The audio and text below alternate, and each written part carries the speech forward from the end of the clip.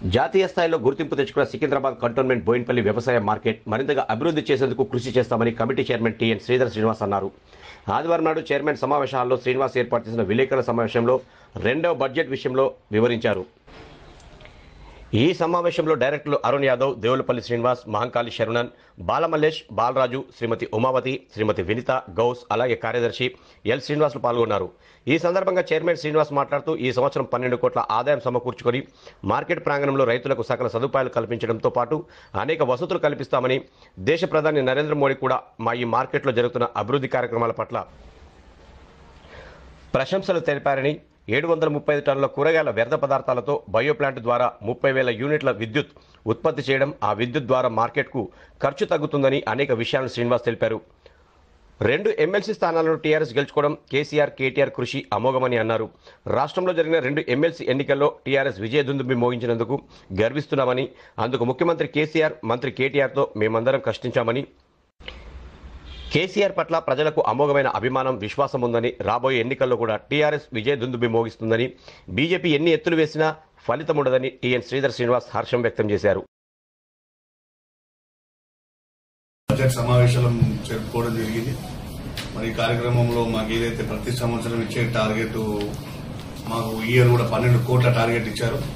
పన్నెండు కోట్లకు మరి ఒక ఇరవై లక్షల అంచున మేము కొద్దిగా వెనుకబడి ఉన్నాం అది కూడా ఈ మార్చ్ కాబట్టి ఇంకొక పది రోజులు ఉన్నది కాబట్టి అది కూడా అధిగమిస్తాం. పన్నెండు కోట్లు దాటుతాం.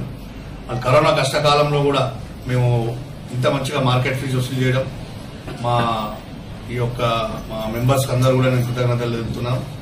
అదేవిధంగా ఇదైతే ఈ ఇయర్ మేము రాష్ట్ర ప్రధాని గారు ఏదైతే మాట్లాడారో బయోగ్యాస్ ప్లాంట్ కోసం అదేవిధంగా మా రాష్ట్ర ముఖ్యమంత్రి గారు కేటీఆర్ గారు మరి మా యొక్క మార్కెటింగ్ శాఖ మంత్రి గారు వీళ్ళందరిచే కూడా మా యొక్క మార్కెట్ కమిటీ అభినందించడం మాకు చాలా సంతోషకరంగా ఉంది. అదేవిధంగా మేము ఇక్కడ ఏదైతే ఈ ఇయర్లో కార్యక్రమం నిర్వహించామో మేము పది లక్షలతోటి ఇక్కడ డిస్ప్లే బోర్డు ఒకటి పెట్టడం జరిగింది. మరి అదే విధంగా ఈ యొక్క కూరగాయలు ఈ మధ్య ఏంటంటే కొద్దిగా కూరగాయలు తగ్గడం జరిగింది బాగా. అధికంగా బయట రాష్ట్రం నుంచి వచ్చే బంద్ అయిపోయి మన స్టేట్ నుంచే బాగా వచ్చినాయి.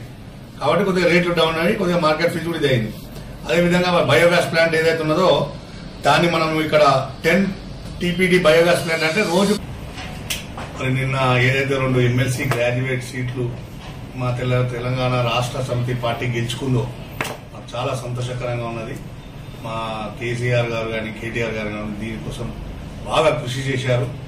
మరి అదేవిధంగా మా లోకల్లో అయినటువంటి ఎమ్మెల్యే సాయన గారు కానివ్వండి మేము కూడా అందరం ప్రతి ఒక్కరు కూడా ఇక్కడ ఉన్న మా కార్యకర్తలు అందరూ కూడా పేరు పేరున అందరికీ నమస్కారం తెలియజేస్తున్నాం. చాలా బ్రహ్మాండంగా పనిచేసాము మొన్న మేము ఎలక్షన్లో బ్రహ్మాండమైన మంచి ఆధిక్యతతో గెలిచి వచ్చాము. ఇది బీజేపీ పార్టీకి ఒక గుణపాఠం ఏదో మొన్న తాటాకులు చెప్పట్లాగా మేమే గెలిచినాం మేమే ప్రభుత్వం వస్తాం తప్ప అది.